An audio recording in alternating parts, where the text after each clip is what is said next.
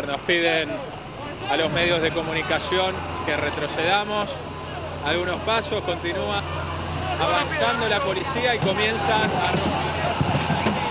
Sí, la piedra, boludo. Mirá la piedra, Lucho. Hay disparos, están arrojados gases lacrimógenos. Comienza a liberar la avenida 9 de julio, la policía de la ciudad.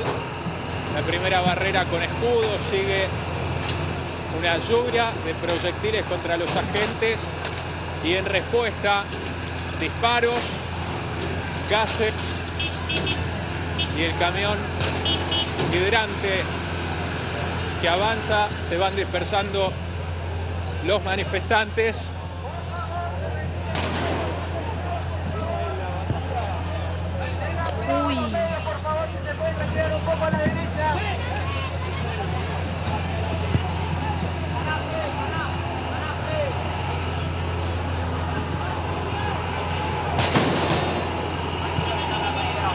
Vamos avanzando lentamente desde un costado.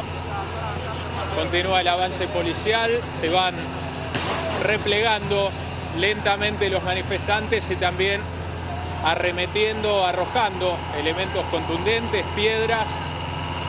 Comienzan a desarmarse las carpas que se habían instalado sobre 9 de julio.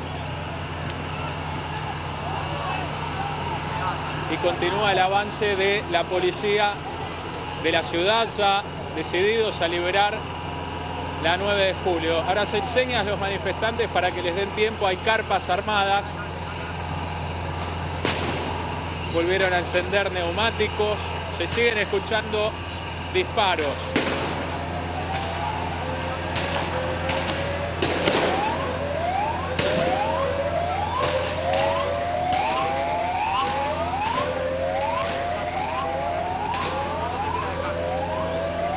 Con un consejo del salario que ayer, ante la falta de acuerdo, terminó fijando unilateralmente el gobierno una base de 10 mil pesos, pero que se terminará de pagar recién dentro de un año, con la inflación que evidentemente ya le quitó a los trabajadores la posibilidad de recuperar lo perdido. Y con otro agravante, que para sobrevivir hoy en Argentina se necesitan casi 15 mil pesos. Por lo tanto, el propio gobierno está fijando la pauta salarial muy por debajo de lo que dicen las estadísticas oficiales que se necesita para vivir en Argentina, lo que es en sí mismo una contradicción, más allá de dónde sale el dinero, que es una discusión aparte.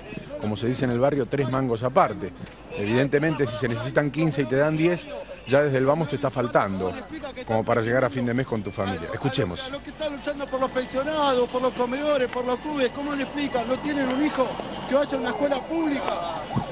Están peleando contra los compañeros de la patria. Se sienten distintos, son de otra raza, son de otro país. ¿Qué es lo que pasa? Ponen el pueblo contra el pueblo, muchachos.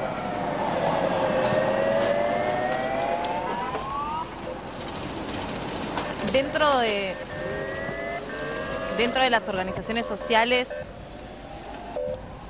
que estuvieron presentes esta tarde desde temprano, se podía identificar a la Corriente Patria Grande, Trabajadores Desocupados Aníbal Verón, a la organización Quebracho y a Patria Justa, que son los que instalaron carpas, que ahí Cristian Minich nos estaba contando que ni bien empezó a avanzar la policía por la 9 de julio, eh, la- las carpas también fueron desarmadas.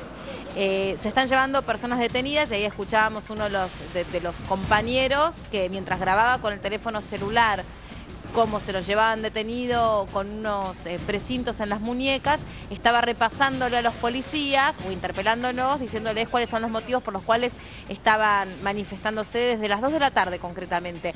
Lo primero que le pidió la policía al grupo de manifestantes es si podían extinguir el fuego de los neumáticos que habían prendido para empezar el desalojo de la avenida y no, no se pudo dar esa situación, no accedieron, porque claro, obviamente lo que pretendían era todo lo contrario, era quedarse allí el mayor tiempo posible, porque lo que exigían en todo momento era que eh, de una manera urgente los atendiera eh, Carolina Stanley.